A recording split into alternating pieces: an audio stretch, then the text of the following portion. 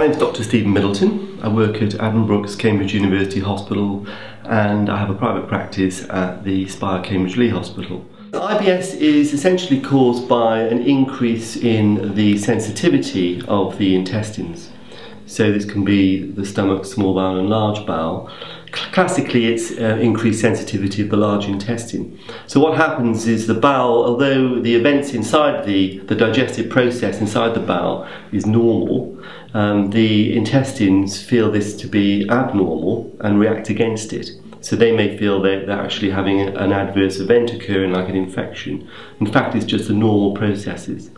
And this means that the bowel will go into um, a mode whereby it tries to often eject what its contents and get diarrhea um, and that causes spasm which then causes pain.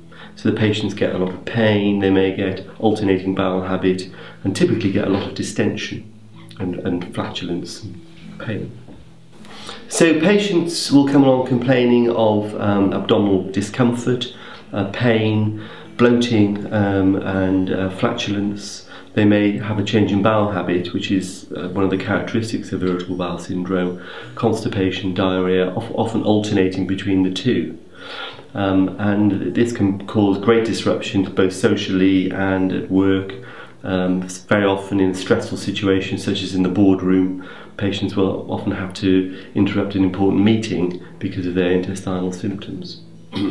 yes, it's important uh, when you have a patient with gastrointestinal symptoms to uh, make an accurate diagnosis.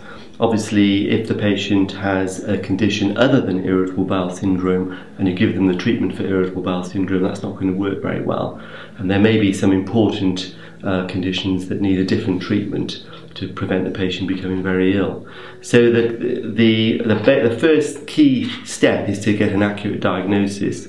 Once you've got an accurate diagnosis, then we can offer the patient various treatments tailored to what they actually have got wrong with them. Once the patient has a definite diagnosis of irritable bowel syndrome and we know that there's nothing else wrong, then uh, very often patients can get benefit from trying to avoid or limit stressful situations, although obviously in real world situations that often is not possible. Um, and they can modulate their diet. Some patients will find they're intolerant to certain foods, particularly the fibrous foods, um, so they can reduce those and often get benefit.